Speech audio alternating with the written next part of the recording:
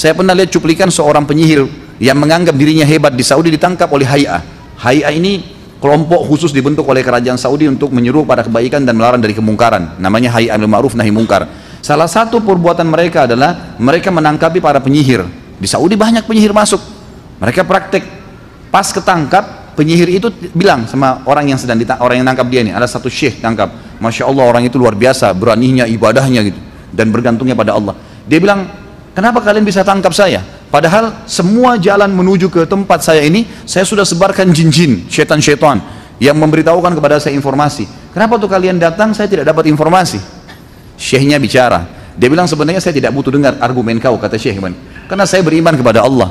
Saya sudah membaca doa pada saat keluar Bismillah tawakkaltu ala Allah la wa la quwata illa billah dengan nama Allah aku menyerahkan diri kepadanya dan tidak ada daya dan upaya kecuali milik Allah Nabi Muhammad SAW sudah bersabda siapa yang baca ini pada saat keluar rumah setiap syaitan yang melihatnya akan berkata pada teman-temannya orang ini nggak bisa kita ganggu karena Allah sudah lindungin jadi kau taruh ifrit kah syaitan kah yang dianggap kuat pun tidak akan pernah bisa menahan saya.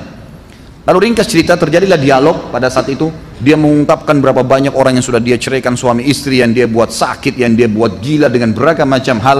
Dibuat orang itu stres setiap ada masalah dibuat gelisah gundah tidur mimpi dengan hal-hal yang tidak benar dan ini semuanya yang terjadi maka terakhir ini hukumannya penyihir saya sudah katakan tadi kalau ketangkap lagi praktek itu di tempat prakteknya dipenggal kerajaan Saudi sudah keluarkan keputusan sama dengan sunnah Nabi SAW dipenggal lehernya Kata Nabi SAW, hadus sahir darbatun bis saif.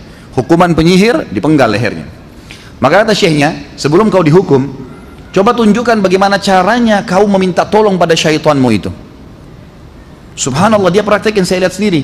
Dia bilang saya pakai baju merah, ada baju kain warna merah dipakai sama dia di satu ruangannya tempat prakteknya, lalu dia ambil pecutan kuda. Dia bilang saya mencambuk diri saya berulang-ulang kali sambil memanggil-manggil syaitan yang saya panggil.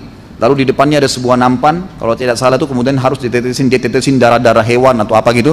Ada hewan-hewan yang dia ikat sayapnya, yang diikat kakinya dengan beragam macam praktek lah, gitu kan. Dia bilang setelah saya lama cambuk-cambukin diri saya, kalau saya sudah kesakitan, baru saya dengar suaranya syaitan yang akan membantu saya. Jadi jangan dibayangkan dukun penyihir itu ngambil ilmunya gampang, rumit, susah, dibodoh-bodohin oleh syaitan.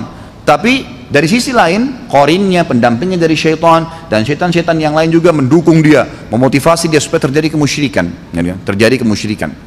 Setiap kali mereka memohon sesuatu, mereka harus berikan sesajen, mereka harus tunduk, mereka harus lakukan sesuatu.